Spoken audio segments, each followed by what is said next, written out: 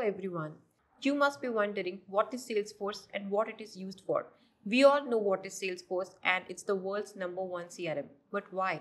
So let me take you through a good example which will help you understand what is Salesforce. You will never have that question in your mind again. So, for example, if you want to buy a car, you will go to a showroom and you will go with the best brand which is selling in the market and as per the market value, you're going to purchase that car. But have you given it a thought if you want to customize the car as per your own convenience? Would you go to the mechanic and then buy a car? No, right?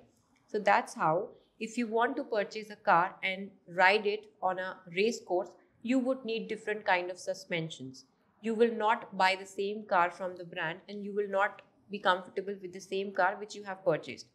Mark Benioff, the co-founder and CEO of Salesforce, took this opportunity in 1999 and built a Salesforce CRM where he has put everything which is required to run a business.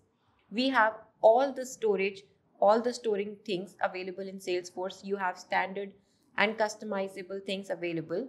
On the top of that, you can create your own apps too in Salesforce. Isn't it good to have such an amazing CRM where you can use your CRM as per your business requirement and that will help you to run your business more.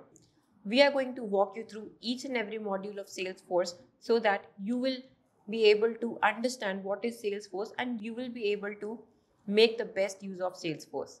So I have tried all my best to put every topic with a live example to make things easier for you and hopefully you are going to make the best use of Salesforce after watching all the videos. Let's begin the journey and start the course.